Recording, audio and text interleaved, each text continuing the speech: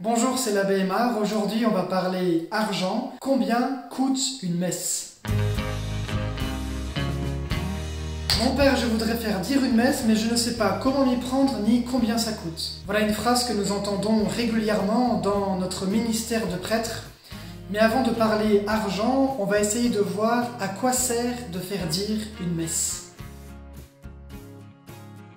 Cette pratique de faire dire des messes remonte au Moyen Âge et prend sa source dans l'Ancien Testament, où le prêtre qui offrait les sacrifices avait l'habitude de recevoir une petite partie de ces sacrifices. Si pendant longtemps le péché pouvait être racheté par l'achat de messes ou les indulgences, aujourd'hui ce n'est plus le cas. On ne parle plus d'acheter les messes parce qu'on n'achète pas la miséricorde de Dieu.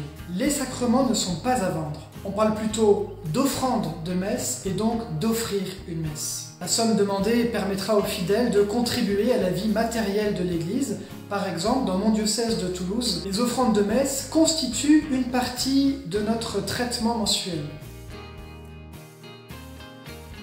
Le plus simple est de contacter la paroisse où nous habitons, ou alors on peut contacter un sanctuaire, une communauté religieuse, ou encore passer par Internet. Si on prie le plus souvent pour des défunts, on peut aussi prier pour des intentions diverses. Pour des jeunes mariés, pour un malade, pour des parents, pour un ami, pour soi-même, pour la vie de l'Église, pour une paix retrouvée, pour une guérison, pour célébrer des noces d'or ou d'argent, pour célébrer un jubilé sacerdotal.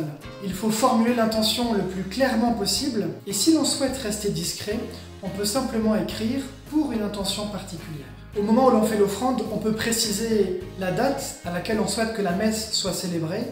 Et généralement, le prêtre reprend contact avec vous pour vous préciser le jour et l'heure de la messe pour que vous puissiez y assister. Et donc le prêtre dira au début de la messe l'intention ou alors pendant la prière eucharistique au memento des vivants ou des défunts. La messe n'a pas de prix ou plutôt si, elle en a un. C'est celui que le Seigneur a payé au prix de sa vie sur la croix. Pour une messe, l'offrande indicative est actuellement de 18 euros, mais cela varie selon les diocèses. Il est bon que cette pratique continue, surtout auprès des jeunes générations, étudiants, jeunes pros, jeunes parents.